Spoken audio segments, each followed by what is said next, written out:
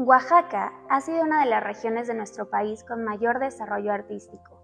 A partir de Rufino Tamayo, quien logró conjuntar las tradiciones y creencias de los pueblos mexicanos con los lenguajes vanguardistas, se comenzaron a gestar unos de los más grandes pilares del arte mexicano.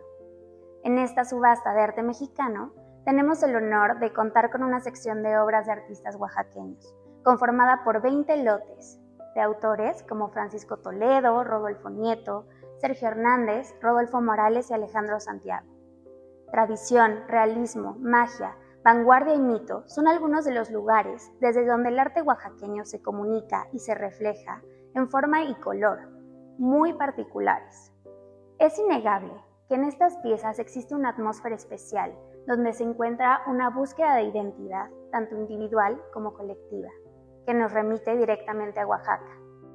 Acérquese a conocer los lotes de su interés en nuestra exhibición previa del 12 al 26 de septiembre en nuestro Salón de Monte Athos 179.